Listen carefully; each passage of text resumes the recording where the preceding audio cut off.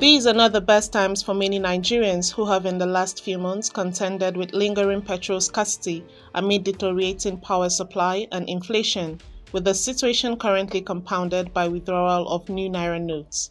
Queues persist in Abuja, Lagos and several other cities as people scramble to get petrol for their cars and their electricity generators at a time of rising temperatures, despite repeated assurances from the government that the crisis would soon be over. In a viral video, residents of Enugu State have staged a protest against the increase in petrol prices using their vehicles to barricade a major road. The residents lamented the price of petrol being sold at 450 naira per litre in Enugu.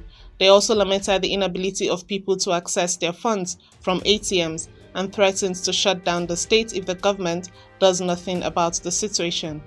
In another video, a lady from Edo State was seen expressing her outrage over the continuing fuel shortage.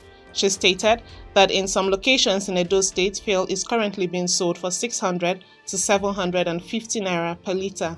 She claimed that she and others will organize a protest by going bare-chested if concrete action is not taken to address the issue of fuel scarcity by tomorrow. She called on the State Assembly to resolve the problem amicably before demonstrators take to the streets.